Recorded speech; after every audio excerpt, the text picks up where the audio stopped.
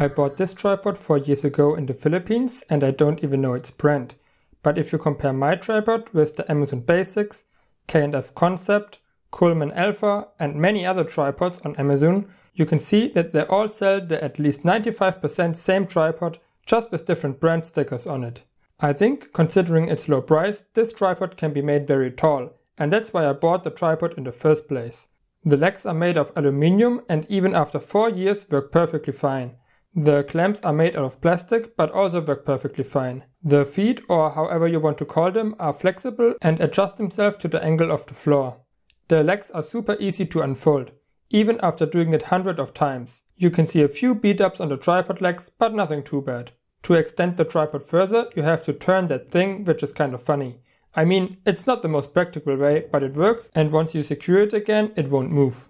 The tripod head is 100% plastic. The base plate can be put in all four directions. You can tighten it up on the camera very well without a screwdriver, easier than on my Manfrotto base plates. I still attach most of the time my Manfrotto quick release system so that I can switch between my Manfrotto tripod, gimbal and this tripod within seconds. The base plate is being held well, but I don't trust it as much as I trust my Manfrotto fluid head.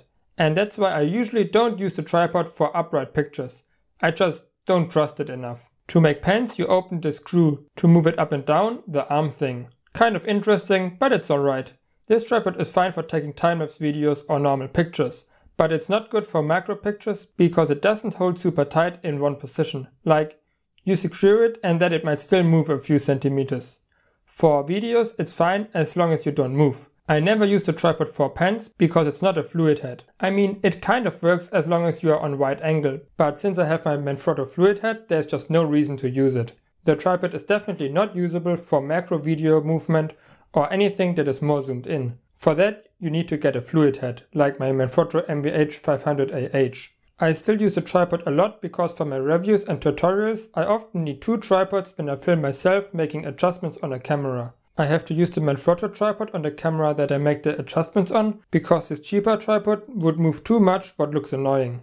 Two more problems. Even though the screw is completely tightened, it still has a lot of room to move. And when I untighten it, the head just slips out if I hold it there. However, I can't say for sure whether those two problems were like this from the beginning or only occurred over time due to extensive usage. One advantage is its low weight. If I go hiking for a time-lapse video where I know I won't do any movement, I rather bring this tripod because it is so much lighter than my Manfrotto. The back of the tripod broke within a few months, but it's alright since I don't need it anyway. So is this tripod good for you? As long as you don't plan to take any videos that involve movement and as long as you don't plan to take macro pictures or videos, this tripod is definitely fine. Quality wise it's alright considering its low price.